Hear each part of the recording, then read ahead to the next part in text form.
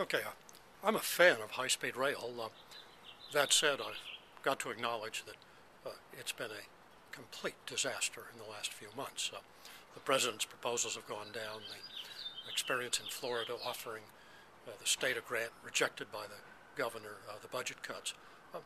One could conclude that, you know, the balloon of high-speed rail went up, was popped, and it's now dead, and we'll move on to other things. I don't think that's the right uh, conclusion to draw. Uh, the case for high-speed rail was not artfully done.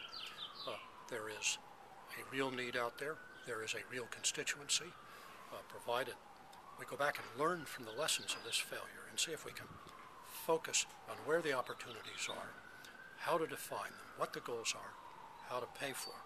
Uh, these things always have a way of coming around again. And, and I think now's the time to learn from the failure, to recognize that in the cycles of American politics, uh, nothing's gone forever. This is a big and important component of our future.